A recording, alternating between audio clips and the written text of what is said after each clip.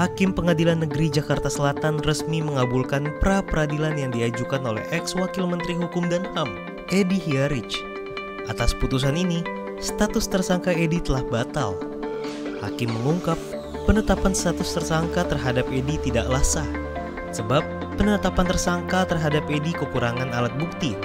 Hal ini merujuk pada pasal 184 ayat 1 Kitab Undang-Undang Hukum Acara Pidana.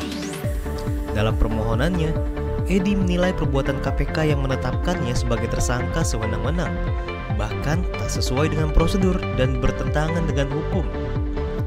Dalam kasus ini, Edi ditetapkan tersangka oleh KPK lantaran diduga telah menerima suap sebesar 8 miliar rupiah bersama kedua anak buahnya.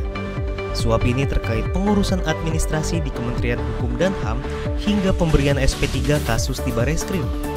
Share informasi ini ke teman kalian.